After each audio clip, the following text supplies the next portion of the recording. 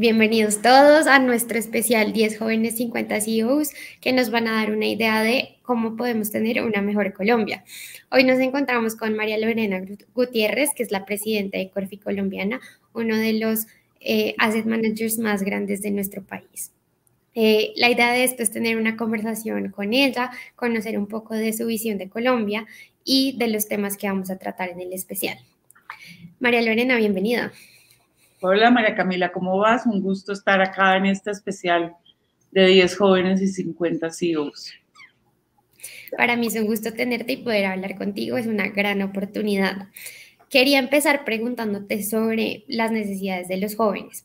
Entonces, eh, hace como dos meses o un poquito más, el Centro Nacional de Consultoría realizó una encuesta a los jóvenes para saber sus necesidades, para saber sus peticiones durante el paro y a pesar de que mucha gente argumenta que los jóvenes solo quieren subsidios y solo quieren, eh, digamos, no trabajar, eh, esa encuesta mostró todo lo contrario y es que los jóvenes de verdad lo que estamos pidiendo es empleo y educación de calidad. Entonces, teniendo esas eh, necesidades en mente, ¿qué puede hacer el sector privado respecto a ellas? Y también, ¿cómo les puede ayudar el gobierno para solventarlas? Bueno, completamente de acuerdo. Eh, yo creo que voy a dar como un contexto general porque yo creo que las cifras hablan por sí solas, no solamente todo este tema de lo que tú dices que, los, jóvenes hablan de que quieren educación y empleo. Te voy a mencionar unas cifras que son impresionantes. En, en América Latina y el Caribe hay 9.4 millones de jóvenes desempleados y, y, 23 millones de estos que no estudian. Eh, eh, y, más de 30 millones de los jóvenes, ¿no? Eh, encuentran trabajo es en la informalidad. Entonces yo creo que son preocupaciones que, que, no solamente por, la, por lo que pueden decir de la sensación que es de los jóvenes y la encuesta que tú mencionas, sino que las cifras por sí solas hablan de que tenemos un reto en todos estos países de América Latina y el Caribe muy grandes y especialmente en Colombia, donde nuestra informalidad es muy grande. Eh, donde, digamos, yo creo que en, en, la última década ha habido un gran avance en acceso a educación superior, pero todavía tenemos retos. El país ha avanzado muchísimo. O sea, yo creo que uno siempre tiene que reconocer que el país ha avanzado mucho y, y si uno mira la cobertura de educación superior, pues en la última década subió casi 10 puntos. Entonces creo que eso es una gran noticia para el país, pero que, pero que tenemos que hacer más, tenemos que hacer más. Entonces yo creo que esto es una mezcla eh, no solamente del sector empresarial, sino también de, las políticas públicas. Eh, el gobierno viene trabajando en unos incentivos, digamos, al sector empresarial para vincular a los jóvenes. También viene el tema de educación, eh, pues que empezó hace muchos años. pues siempre está el ICETEX, está el SENA, pero pues empezó este programa de Pilo Paga, que ahora se llama Generación E, que permite que personas de, bajo, de, pues de bajos recursos puedan acceder a la educación superior.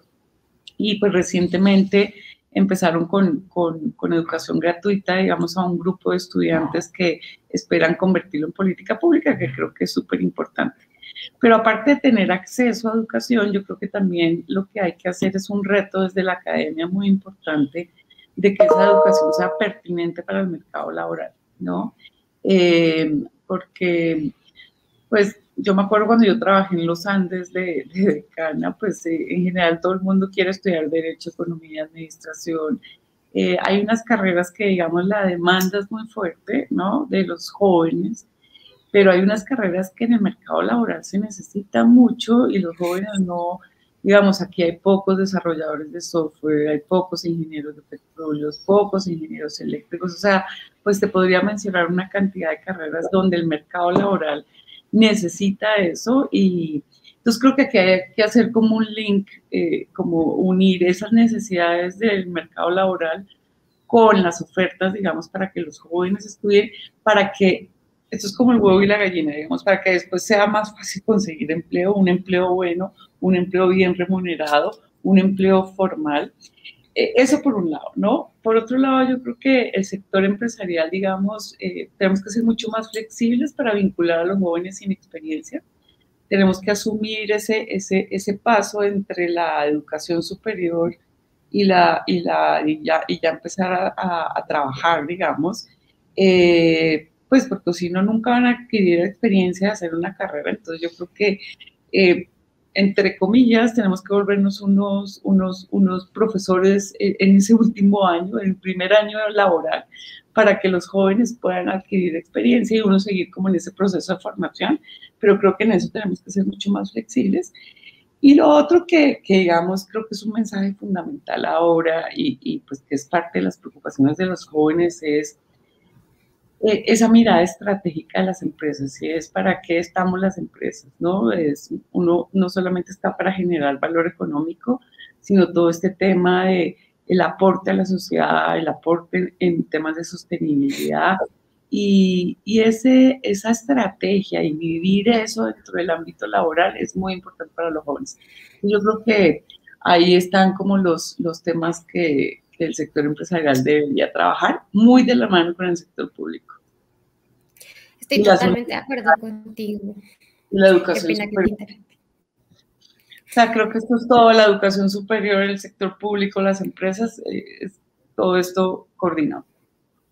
De acuerdo, esto es un ciclo, ciclo positivo que si no se realimenta entre sí, digamos que no vamos a tener los resultados que tenemos y estoy de acuerdo contigo en que lo, las empresas no encuentran en el mercado laboral, digamos, las, las habilidades que necesitan. Y por eso, digamos, es difícil llenar esas vacantes que de pronto tienen vacías, pero realmente no encuentran esas habilidades y eso lo muestran encuestas como Manpower que mencionan eh, esta falta de, de, habilidades que necesitan los empresarios.